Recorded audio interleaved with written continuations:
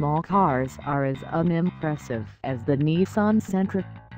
Though comfortable and roomy, its handling is subpar, the interior is bare, and the base model is extremely slow.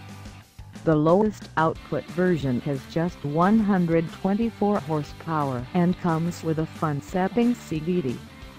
The SR Turbo at least addresses the power issue with the inclusion of a turbocharged 1.6-liter engine with 188 horsepower and 177 pound-feet of torque.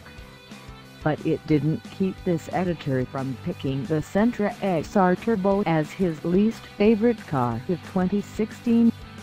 Still, the NISMO variant was on the way, and we still held on to a little hope that maybe, just maybe, Nissan's in-house performance division could make the little sedan enjoyable.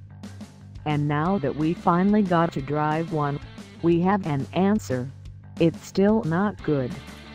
In fact, with the CVT, it's actually rather bad. Yes, Nissan sent us its sportiest Sentra equipped with a CVT. We have no idea why because this transmission shouldn't be anywhere near the performance car.